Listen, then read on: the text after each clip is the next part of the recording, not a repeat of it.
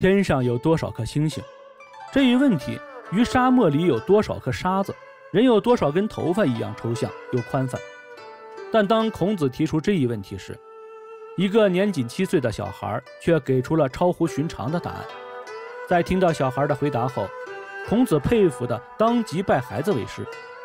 一个小孩到底是何方神圣，能够拥有孔子如此厚重的礼遇？孔子在鲁国设坛讲学多年，同时周游列国，宣讲儒家思想，门下已有弟子三千，贤人七十二。某日，孔子听闻，莒国的东南海边有一个叫季丈城的地方，周围百姓淳厚，而且都很博学，他便于弟子记忆东游此地，博其民情，悟其智慧。于是。一群人乘着马车，风尘仆仆地来到了如今的卑狼地境。此地风景秀丽，地势舒坦。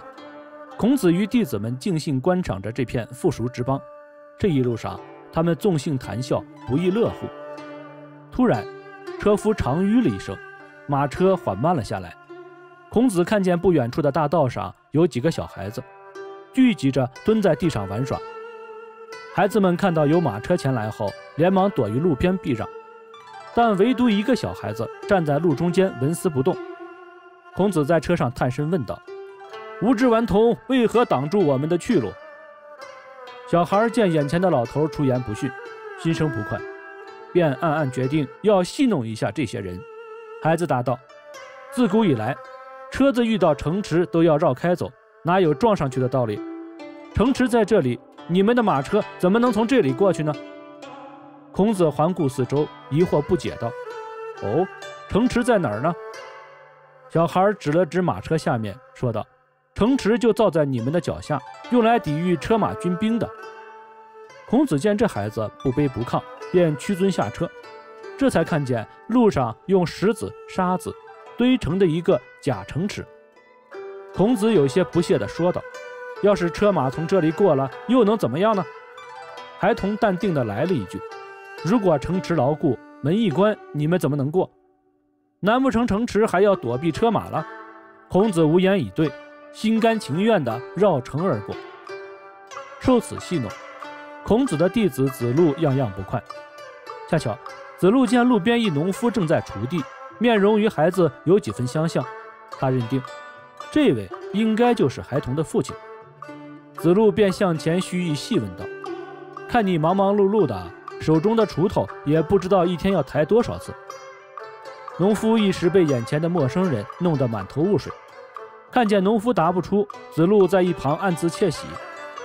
不料孩童听见后赶来说道：“我的父亲年年都锄地，当然心里有数了。我看先生出行必有马车，想必是知道马儿的蹄子一天抬几次吧？”子路哑口无言。围观的孔子见孩童聪颖机敏，内心深感佩服，便决定继续深入试探一番。他与孩子商议：“我看你才智过人，现在我们各自出题考考对方，赢了的人就拜对方为老师，怎么样？童叟无欺。”好，一言为定。孩童丝毫没有胆怯。第一局，孩童问孔子：“请教夫子，什么地方的水中没有鱼？”什么火没有烟？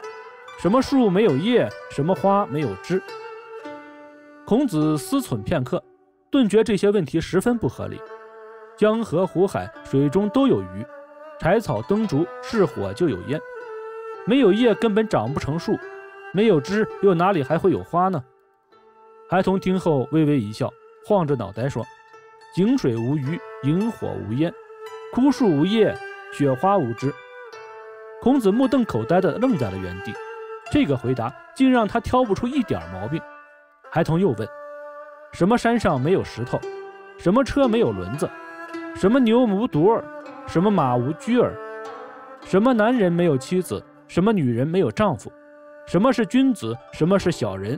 什么是不足？什么是有余？什么成无事？什么人无字？”孔子皱了皱眉说：“我还真不知道。”孩童再一次得意洋洋地答道：“土山无石，轿车无轮，泥牛无犊，木马无驹，神仙无妻，仙女无夫，贤为君子，愚为小人，冬日不足，夏日有余。皇城无事，小人无子。孔子恍然大悟，心服口服。同时，他也准备反攻，为难眼前的小神童。你可知道天地纲纪，阴阳始终？什么是左？什么是右？什么是表？什么是里？什么是父？什么是母？什么是夫？什么是妇？风从何来？雨从何至？云从何出？雾从何起？天地相距几千万里。小朋友听完孔子的话，张口就来。九九八十一是天地之纲纪，八九七十二是阴阳之始终。天为父，地为母，日为夫，月为父。东为左，西为右，外为表，内为里。风从苍梧，雨从交氏，云从山出，雾从地起。天地相距有千千万万里。东西南北皆有方向。孔子一看，这都难不倒小孩子，便拿出了杀手锏。他抛出疑问：人在世上都要依靠星辰之光，地生五谷，方能养育众多生灵。且问小儿：天上有多少颗星星？地上又有多少五谷呢？孔老师出题刁钻，谁知孩童脱口而出：天高不可丈量，地广不能尺度。一天一夜星辰，一年一茬五谷。稍一顿，小孩使起了诡计。人的身体比地小，眼睛上的眉毛比天低，双眉长在眼睛上，天天可以看到。敢问夫子，您可否知道自己的眉毛究竟有多少根呢？孔子很尴尬地回答不上来，甚至还沉浸在一天一夜星辰，一年一茶五谷的绝妙中。子还偷换了度量单位。把原来问题中隐藏的颗粒单位换成了夜茶，并且以天年为统计时间，明做了明白无误的回答，后生可畏。正当孔子要尊敬地询问孩子如何拜师之时，孩童已纵身跳入了旁边的水塘中。只见这一孩童吐了几个泡泡，从水面露出一个脑袋，调皮地对孔子说：“沐浴后才可行拜师之礼，夫子也前来沐浴啊。”孔子拿他没办法，但孔子没学过游泳，怕自己沉下去。孩童见孔夫子忐忑，仍未善罢甘休，借机问道：“鸭子不曾学过游泳，反而浮之不沉，而夫子为什么不行呢？”